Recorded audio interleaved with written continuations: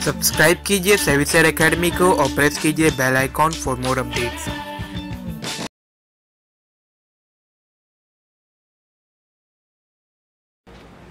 दोस्तों, मैं आज एक खास बात आपसे कहना चाहता हूँ और इस बात को कहते हुए मुझे बहुत खुशी हो रही है कि पिछली बार अगर आपने मेरा वीडियो देखा है लॉन्ग टर्म इन्वेस्टमेंट के बारे में जो मैंने कहा था मुथुत फाइनेंस के बारे में, और उसका बुलिश ट्रेंड तुरंत हुआ जो सभी मेरे मित्रगण जिन्होंने इन्वेस्ट किया, वो उन्होंने उसमें लाभ कमाया।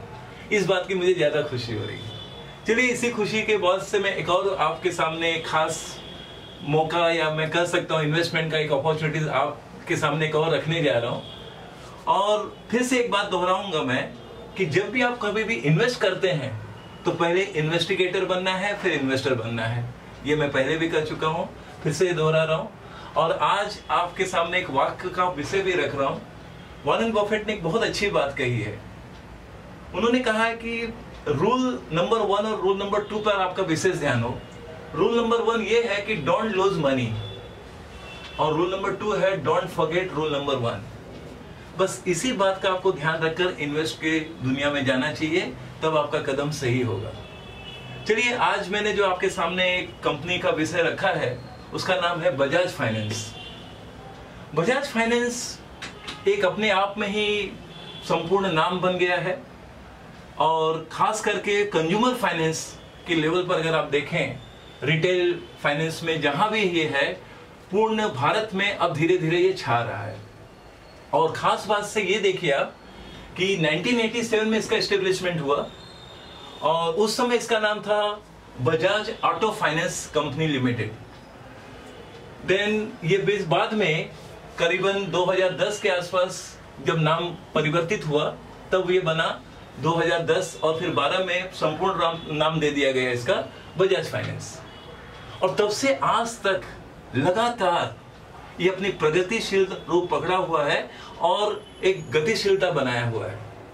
उसी तरह से आपको आश्चर्य होगा कि बजाज फाइनेंस का अगर आप मार्केट प्राइस 2001 में आप देखेंगे तो आपको आश्चर्य होगा कि बजाज फाइनेंस का भाव 2001 में तीन और चार रुपया था केवल। तीन और चार रुपया वाला शेयर आज मार्केट प्राइस चल रहा है दो हज़ार आठ सौ साठ रुपया पचहत्तर पैसा। करंट मार्केट प्राइस जो अगर आप देखते हैं, पंद्रह तारीख, पंद्रह मार्च 2019 के हिसाब से। अब यहाँ पर खास रूप में देखा जाए मार्केट कैपिटलाइजेशन इसका पिछले एक महीने से लगातार बढ़ता गया है। आप विशेष रूप से ध्यान दीजिए। आज इसका मार्केट कैपिटलाइजेशन है one lakh sixty five thousand three forty two point three one crore. और जिस हिसाब से आप 52 वीक्स हाई और लो पर भी ध्यान दीजिए, एक साल पहले इसका भाव था एक हज़ार छह सौ पंद्रह रुपये। और हाई इसका 52 वीक्स हाई गया है 2994 अब आप देखते जाइए अब यहाँ पर इसका प्राइस यहाँ से इस तरफ़ के जाने की तरफ़ इसकी तीव्रता बन गई है यहाँ पर। और अगर ये 2994 वहाँ से रेसिस्टेंट ब्रेकआउट होता है तो 3100 से 200 जाना कोई बड़ी बात नहीं है। तो यहाँ पर 10 से 15 टका कमाने का विषय बन रहा है धीरे धीरे लगभग, या उसके आगे। अगर सेंसेक्स ने और गतिशीलता अपना रूप और तेज़ी में रूप रखा बुलिश ट्रेंड और हुआ तो ये 3300 तक जा सकता है।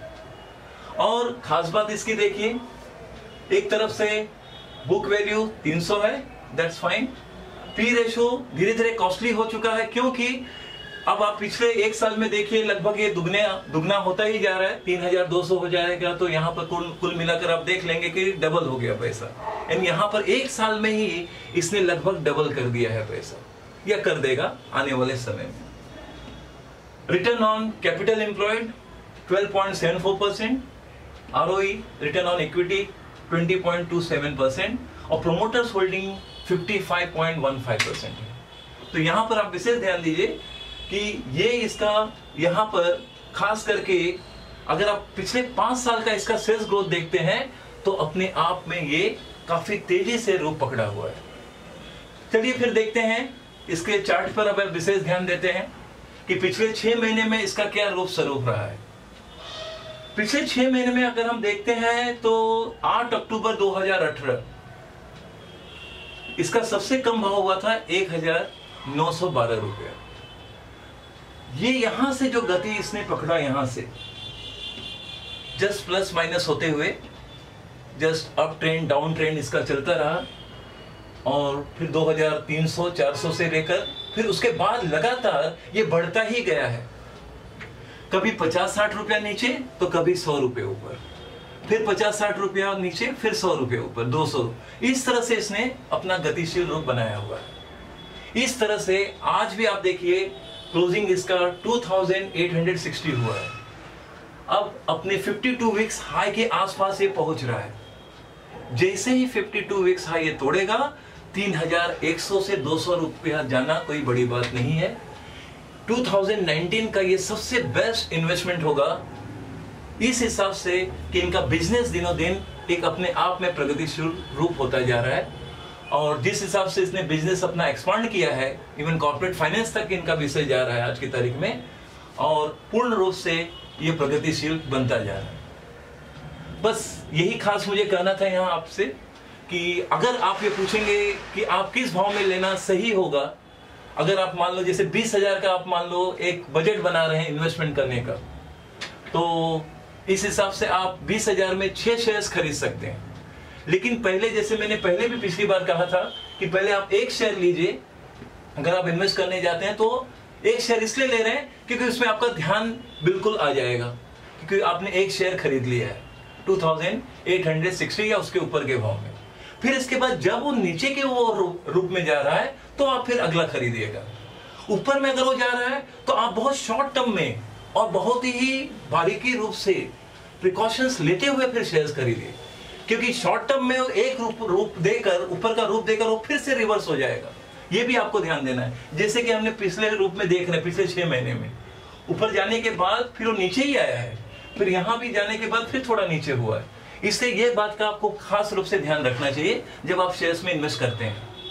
तो आप ऊपर में कम लेंगे और नीचे में ज़्यादा लेंगे, ऐसा होना चाहिए। कहने का अर्थ यह है कि जब आप पाँच शेयर दस, छह शेयर का पॉइंट ले रहे हैं, जैसे छह शेयर लेने जा रहे हैं तो लगभग बीस हज़ार का आपका बजट बन रहा है। तो उस हिसाब से कैसे करना है आपको? पहले आप एक दो शेयर लीजिए, नीचे जब आए तो तीन चार ले लीजिएगा। ऊपर जा रहा है तो सिर्फ़ एक दो लीजिए। जिससे जिससे आपके इन्वेस्टमेंट करने के बाद भी आप में डर नहीं रहेगा। और इन्वेस्टमेंट का सबसे इंपॉर्टेंट प्रिंसिपल ये है कि आप वही पैसा इन्वेस्ट कीजिए, जो इन्वेस्ट करने के बाद आपके मन में डर नाम की चीज़ नहीं रहनी चाहिए। आपने पैसा इन्वेस्ट कर दिया, उसके बाद आप बिल्कुल डर नहीं रहे। मार्केट कुछ भी है, मैं सही जगह पैसा इन्वेस्ट किया हूँ तो आप रिलैक्स रहेंगे। लेकिन अगर आपने भारी रकम में इन्वेस्ट किया है और मार्केट में कुछ भी हो जाए तो उसमें एक डर बना रहता है। और डर में हमेशा आपका निर्णय गलत ही होता है। ये आप ध्यान रखिए इस शब्दों को। ये जो मैं शब्द कह रहा हूँ, सबसे खास महत्वपूर्ण है आपके लिए। तो आप वही पैसा, उतना ही पैसा इन्वेस्ट कीजिए, जो पैसा आप डालने के बाद आप पूर्ण रूप से निर्भय हैं। आपको किसी भी बात का डर नहीं है और उस तरह से आप सही इन्वेस्ट करके रिलैक्स हैं। तो वो अपने आप अपना गतिशीलता रूप पकड़ेगा और आप एक प्लान करिएँगे कि यहाँ से मुझे 10 टका, पंद्रह टका मिल रहा है तो आप वहाँ से तुरंत निकल जाइए। या कुछ शेयर्स आप लॉन्ग टर्म में भी रख सकते हैं, जैसे मैंने पहले भी कहा था। और अभी भी यही कहूँगा कि 2019 का अगर कोई शेयर में गतिशीलता आप देखेंगे तो बजाज फाइनेंस का नाम अपने आप में आगे होगा। बस इतना ही कहना था। और कुछ बातें आपसे मैं और जोड़ना चाहूँगा। कहने का अर्थ यह है यहाँ कि ये हमारा एक छोटा सा शेयर एकेडमी है, सेबी शेयर एकेडमी के नाम से। यहाँ पर हम जस्ट बेसिक से advance technical analysis intraday trading और एन के कोर्सेज सिखाए जाते हैं, जिसमें आपका अगर रुचि है तो आप मुझे व्हाट्सएप पर आप मैसेज कीजिए और कुछ जानकारी आपको चाहिए तो आप फ्री होकर मुझसे कम्युनिकेट कर सकते हैं। तो बस इतना ही कहना था और एक खास बात चलते चलते ये भी कहना चाहूँगा कि 31 मार्च 2019 तक अगर आपने कुछ ऐसा प्लान किया है हैवी इन्वेस्टमेंट करने का तो उस इन्वेस्टमेंट के विषय में आप मुझसे कोई भी सलाह ले सकते हैं, जिसका कोई भी चार्ज नहीं होगा it will be free of cost बस इतना ही कहना था। चलिए फिर मिलते हैं, फिर मिलेंगे फिर मिलेंगे।